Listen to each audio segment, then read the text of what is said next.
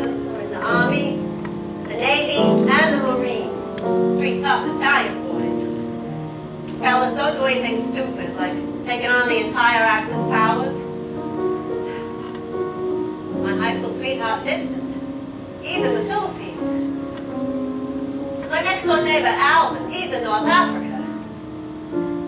And my husband, Bud, on 4 Jerks 4F.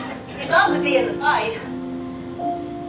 But honey, you gotta stay home and take care of the kids. Well, I'm doing my best for both of us.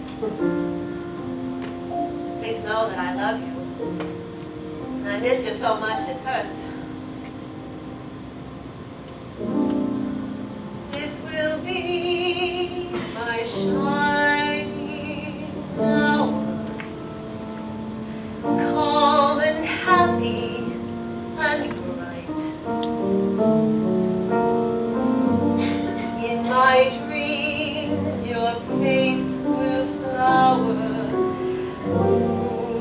Darkness of the night.